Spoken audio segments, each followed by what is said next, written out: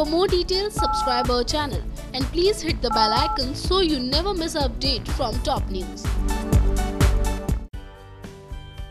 यह मोहब्बत सीरियल की कहानी कुछ इस तरह से मोड़ लगी शायद ही किसी ने न सोचा था। जी हाँ जहाँ इशिता रमन की ज़िंदगी में अब कई उतार चढ़ाव आ गए हैं और साथ ही साथ इन दोनों के रास्ते भी हो गए हैं अलग, जिसके बाद आपने देखा कि कैसे सिमी भी अपनी घिनौनी चालों को अंजाम देती हुई नज़र आती है। तो वहीं दूसरी तरफ़ आपने भी देखा कि कैसे मीका भी बाला के हाथ भिजवा देती है रोमी को डाइवोर्स पेपर्स जिसके बाद जैसे इस बात के बारे में रोमी को पता चलता है तो वो भी चौक जाता है। लेकिन हर बार की तरह इस बार मीका और रोमी के रिश्ते को बचाने के लिए बाला अपनी हर कोशिश करता है, जिसके बाद आपको बता दें कि बहुत जल्द आप सभी को शो में मिहिका की भी एंट्री देखने को मिलेगी, जहाँ दो साल के बाद मिहिका भी पूरी तरह से बदल गई होगी, और साथ ही साथ वो भी भल्ला परिवार से बदला लेती हुई नज़र आएगी। लेकिन इस बार मिहिका ने चुना होगा सेमी को अपना मोहरा।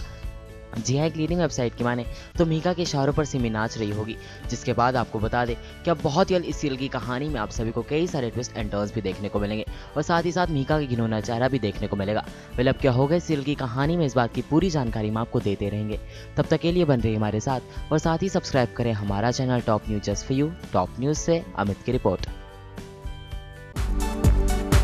For more details, subscribe our channel and please hit the bell icon so you never miss an update from top news.